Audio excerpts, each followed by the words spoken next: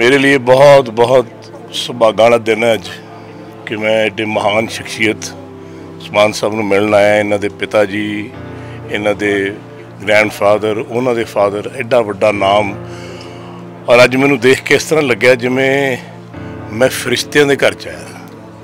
ਬਾਬਾ ਦੀਪ ਸਿੰਘ ਜੀ ਮਹਾਰਾਜ ਦੀ ਇੰਨੀ ਕਿਰਪਾ ਹੋਈ ਕਿ ਅੱਜ ਮੈਨੂੰ ਇਸ ਤਰ੍ਹਾਂ ਲੱਗ ਰਿਹਾ ਜਿਸ ਤਰ੍ਹਾਂ ਮੇਰੇ ਬਹੁਤ ਪੁਰਾਣੇ ਪਿਛੜੇ ਮੇਰੇ ਭਰਾ, ਮੇਰਾ ਪਰਿਵਾਰ ਮੈਨੂੰ ਮਿਲਿਆ ਔਰ ਮੇਰੀ ਅੱਖਾਂ 'ਚ ਇੰਨਾ ਦਮ ਨਹੀਂ ਕਿ ਮੈਂ ਅੱਖ ਚੱਕ ਮਿਲਾ ਕੇ ਗੱਲ ਕਰ ਸਕਾਂ, ਪਰ ਮਹਾਰਾਜ ਨੇ ਮੈਨੂੰ ਚੜ੍ਹਦੀਆਂ ਕਲਾ 'ਚ ਰੱਖੀ। ਬਹੁਤ ਬਹੁਤ ਪਿਆਰ।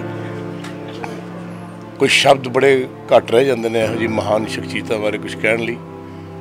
ਪਰ ਇੱਕ ਗੱਲ ਮੈਂ ਜ਼ਰੂਰ ਕਹਿਣਾ, ਜਦ ਤੱਕ ਜਿਉਣਾ ਉਸਮਾਨ ਜੀ, ਖੂਨ ਦਾ ਕਤਰਾ ਕਤਰਾ ਹਾਜ਼ਰ ਹੈ, ਜਾਨ ਹਾਜ਼ਰ ਹੈ।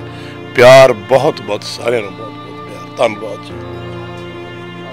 ਬਿਸਮਿਲ੍ਲਾਹਿਰਰਹਿਮਾਨਿਰਰਹੀਮ। ਸ਼ੁਰੂ ਕਰਦਾ ਹਾਂ ਅੱਲਾਹ ਤਾਲਾ ਦੇ ਨਾਮ ਤੋਂ, ਜੋ ਬੜਾ ਮਿਹਰਬਾਨ ਤੇ ਨਿਹਾਇਤੀ ਰਹਿਮ ਕਰਨ ਵਾਲਾ ਮੇਰੇ ਮਰਹੂਮ ਵਾਲਿਦ ਸਾਹਿਬ ਸ਼ਾਹੀਮਾ ਪੰਜਾਬ ਮੌਲਾਨਾ ਹਬੀਬੁਰ ਰਹਿਮਾਨ ਲੁਧਿਆਣਵੀ ਸਾਹਿਬ ਦੇ ਦੇਹਾਂਤ ਤੋਂ ਬਾਅਦ ਜਿੱਥੇ ਵੱਖ-ਵੱਖ ਸਮਾਜਿਕ, ਸਿਆਸੀ ਲੋਕਾਂ ਦੀ ਆਮਦ ਹੋਈ, ਉੱਥੇ ਹੀ ਸਾਡੀ ਖੁਸ਼ਕਿਸਮਤੀ ਹੈ ਕਿ ਬਾਬਾ ਦੀਪ ਸਿੰਘ ਜੀ ਦੇ ਵੰਸ਼ ਚੋਂ ਯੋਗਰਾਜ ਜੀ, ਜਿਹੜੇ ਕਿ ਪੰਜਾਬ ਦੀ ਆਨ ਬਾਨ ਤੇ ਸ਼ਾਨ ਨੇ, ਉਹ ਅੱਜ ਲੁਧਿਆਣਾ ਜਾਮਾ ਮਸਜਿਦ ਪਹੁੰਚੇ ਨੇ।